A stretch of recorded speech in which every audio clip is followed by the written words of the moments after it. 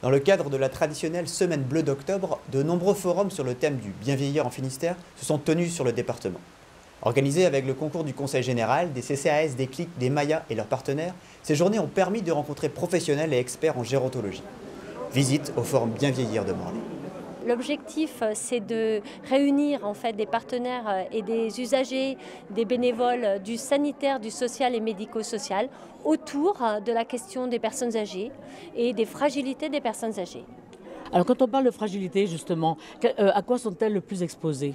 Alors euh, justement, en fait, l'objectif, c'est d'avoir une approche globale parce que euh, les personnes euh, en vieillissant, hein, normalement, voilà, c'est logique, hein, peuvent avoir des petits déséquilibres au niveau de la marche. Elles sont exposées à des risques de chute, elles sont exposées à des risques de dénutrition et donc à des risques aussi au niveau de la perte un petit peu de l'audition, de la vue.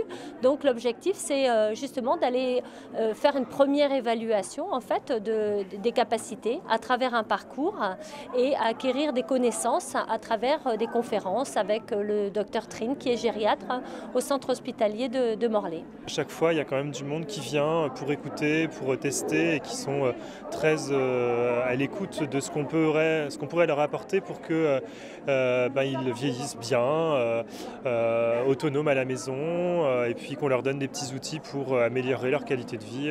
Je trouve que ça fonctionne bien ouais, chaque année.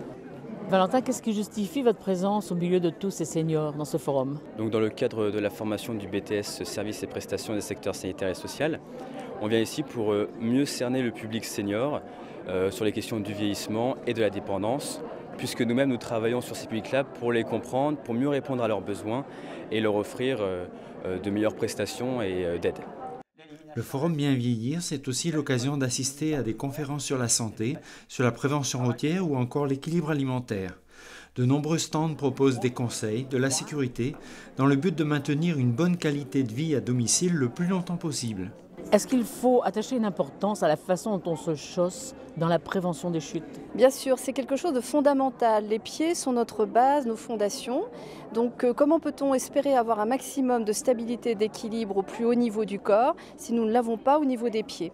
Donc en tant que podologue, moi je vérifie toujours la stabilité au niveau de l'empreinte plantaire et nous sommes là pour donner des conseils de chaussage dans le cadre de la prévention des chutes pour éviter les déséquilibres, les instabilités et les risques d'accident. Ici, ces véhicules électriques s'adressent aux personnes qui ont des problèmes pour se déplacer. Et vous avez une autonomie de... 30 km à peu près qui va sur la route. À quelle vitesse? À à peu près 17 km/h celui-ci. Et est-ce qu'on peut aller sur la grande route? Euh, Oui, il y a des phares pour ça et il euh, faut faire attention bien sûr. Euh, par contre, il ne faut pas hésiter à mettre un gilet jaune à l'arrière pour la sécurité. Alors, l'apport du Conseil général dans un forum comme celui-ci, c'est de présenter, à la fois proposer un stand qui propose aux usagers une évaluation de leur autonomie et de leur dépendance qui leur permette de repérer quelles seraient les difficultés qu'ils auraient à rester à domicile.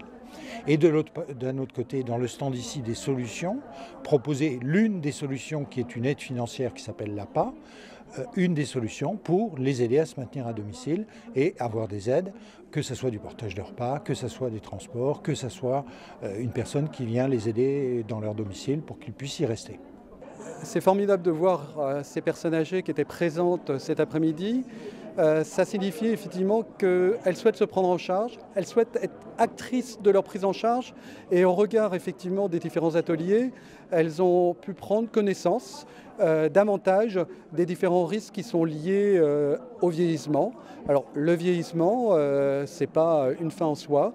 on peut anticiper effectivement la perte d'autonomie et ça signe quelque part que ces personnes âgées souhaitent vivre le plus longtemps possible à domicile, anticiper sur effectivement leur vieillissement et mieux se prendre en charge. Vraiment une réussite.